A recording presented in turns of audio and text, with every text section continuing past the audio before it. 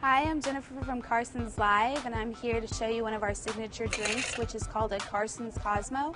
And in it, it has Absolut Mandarin and our triple sec and some cranberry juice with a lemon wedge. And here we go. I'm going to show you how to make it. First, you start off with your chilled martini glass, and then you get your shaker, add some ice, use your Absolut Mandarin, or you can pour a little bit more, you know, and some triple sec. Then you add your cranberry juice, shake it up.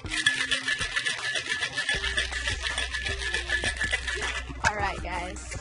Then you strain it, and you add a lemon wedge. And there you go. There's our Carson's Cosmos. So come see me. Once again, my name's Jennifer. I'm always here anytime we're open, so come see me and check out our Carson's Cosmo.